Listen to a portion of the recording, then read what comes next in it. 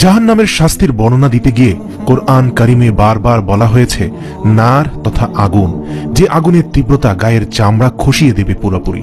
পরক্ষণে তা আবার পুনরায় পূর্বের অবস্থানে ফিরে যাবে, আবারও আগুন খসিয়ে দিবে এবং তা পুনরায় আবার ঠিক হয়ে যাবে।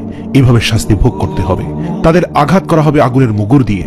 এ প্রসঙ্গে পবিত্র কোরআনুল কারিমে আল্লাহ তাআলা বলেছেন কখনো না তারা নিক্ষিপ্ত হবে হোতামায়। তুমি কি জানো হোতামা কি? তা হলো আল্লাহর প্রজ্বলিত আগুন যা অন্তরসমূহকে গ্রাস করে। তা তাদেরকে বিনষ্ট করে রাখবে অতি উচ্চ স্তম্ভসমূহে। আল্লাহ তাআলা আরও বলেন, তোমরা জাহান্নামকে ভয় করো, যা প্রস্তুত করা হয়েছে কাফিরদের জন্য। সুরা আল ইমরান, আয়াত নম্বর একশত একত্রিশ নিশ্চয়ই জাহান্নাম গোপন ফাঁদ, সীমালঙ্ঘনকারীদের জন্য প্রত্যাবর্তন স্থল সুরা নাবা, আয়াত একুশ ও বাইশ। আল্লাহ তাআলা আরও বলেছেন, আর যারা আমার নিদর্শন প্রত্যাখ্যান করেছে, তারাই হতভাগ্য। তারা পরিবেষ্টিত হবে অবরুদ্ধ অগ্নিতে। সুরা বালাদ, আয়াত উনিশ থেকে বিশ। আল্লাহ যেন আমাদের জাহান্নামের আগুন থেকে রক্ষা করেন।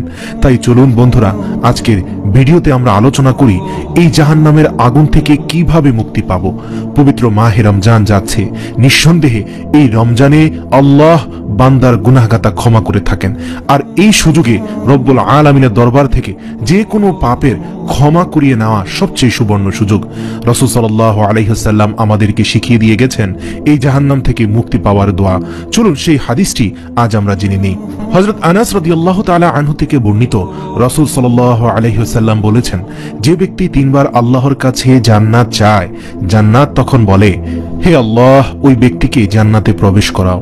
পক্ষান্তরে যে ব্যক্তি তিনবার জাহান্নামের আগুন থেকে মুক্তি চেয়ে দোয়া করে বলে, হে আল্লাহ, আমাকে জাহান্নাম থেকে মুক্তি দাও। তখন জাহান্নাম আরজি করে রব্বুল আলমিনের দরবারে বলে, হে আল্লাহ, ওই ব্যক্তিকে জাহান্নামের আগুন থেকে মুক্তি দাও। সুবহান আল্লাহ হাদিসটি রয়েছে সুনানিয়া তিরমিজিতে, দুই হাজার পাঁচশত বাহাত্তর নম্বর হাদিসে। প্রদর্শক এই মাহে রমজানে যদি আপনি একবার বলেন আল্লাহ আজিরনি মিনান্নার হে আল্লাহ আপনি আমাকে জাহান্নামের আগুনের হাত থেকে রক্ষা করুন। তখন জাহান্নাম সাথে সাথে আল্লাহকে বলবে, হে আল্লাহ, ওই ব্যক্তিকে জাহান্নামের আগুন থেকে মুক্তি দিন।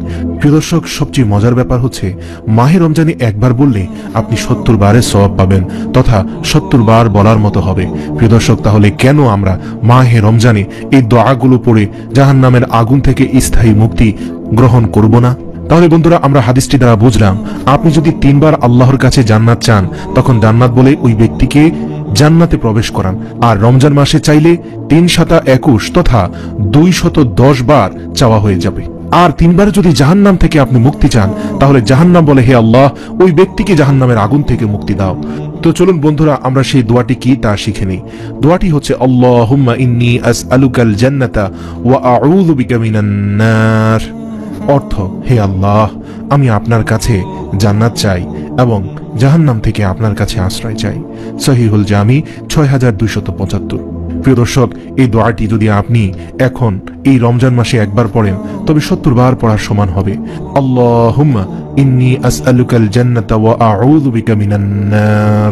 যে ব্যক্তি আল্লাহর কাছে তিনবার জান্নাত প্রার্থনা করে জান্নাত আল্লাহর কাছে দোয়া করে বলে, হে আল্লাহ, তাকে জান্নাত দান করুন। যে ব্যক্তি আল্লাহর কাছে তিনবার জাহান্নাম থেকে আশ্রয় প্রার্থনা করে, জাহান্নাম আল্লাহর কাছে দোয়া করে, হে আল্লাহ, তাকে জাহান্নাম থেকে মুক্তি দাও।